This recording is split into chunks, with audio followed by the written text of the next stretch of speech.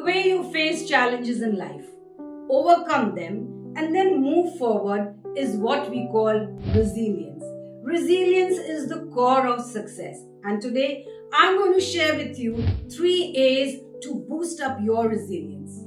Resilience is not a gift that someone is born with. It is a skill that can be developed by having a combination of the three A's attitude, acceptance, and adaptability.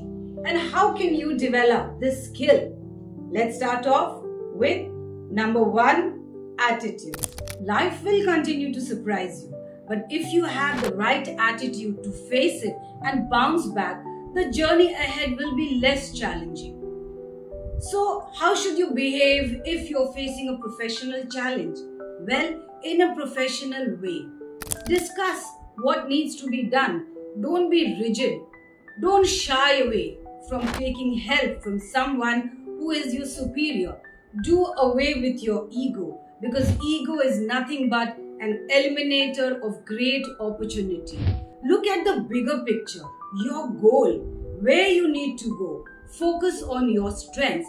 Ask yourself, is my attitude helping me to move ahead or is it keeping me rooted at the same place? If it's an academic challenge, then discuss with the expert. Analyze your result. Which area needs improvement? Empower your strengths. Prepare and practice in advance.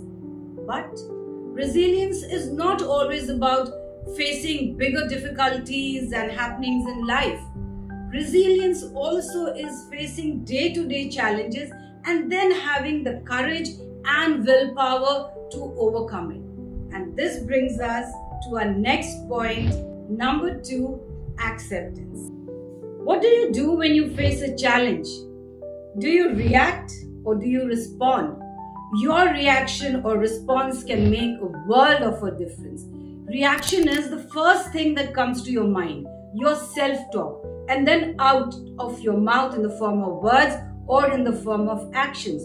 Do you ask yourself, why me? इसमें मेरी क्या गलती है मेरी तो किस्मत ही ऐसी है Don't keep on asking these questions to yourself. Instead, respond to the situation. Face it. Accept the situation. Stop asking yourself, why me? Stop blaming someone else. Stop being the victim. Ask yourself, what can I do?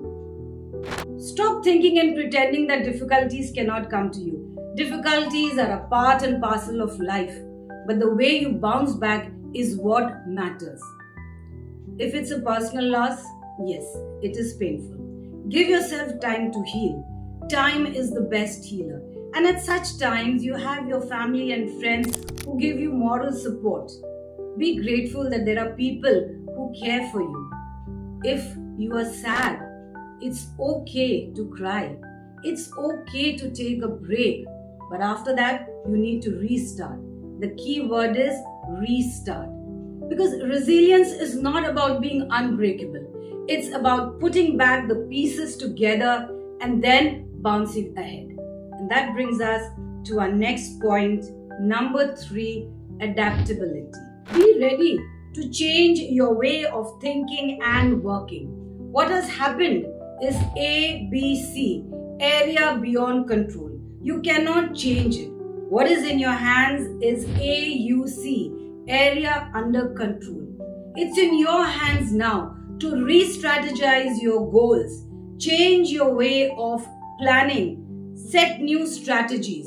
Because now is the time for you to decide where you want to go next. If plan A didn't work, try plan B.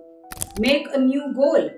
Break up that goal into smaller goals and those smaller goals into small steps. Take one baby step at a time and as you keep on moving forward, step by step, completing one step, you will feel a sense of achievement. You will feel happy and motivated to take the next step. And yes, on the way, at times, after completing a few steps, you can also have a sense of celebration in your mind. That will help you to move ahead. Most important, be kind to yourself. Eat well and sleep well. So remember, resilience is not an overnight process.